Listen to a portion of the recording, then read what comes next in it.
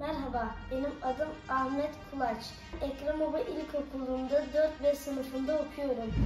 İleride belediye başkanı olursam daha çok okul yapmayı düşünüyorum. Bozuk yolları düzeltmeyi, sonra köylere bir sürü temizlikçi yollamayı, pis olan yerleri ım, temizlemeyi düşünüyorum. Ee, İsmail Karakullukçu başkanımızın yaptıklarına da teşekkür ediyoruz. Değerli basın mensupları hepinize teşekkür ediyorum. Şimdi müsaade ederseniz Ekrem e, meclis üyeleriyle birlikte Ekrem İlk İlkokulu'na kantin yapımını konuşmak üzere meclise gidiyorum.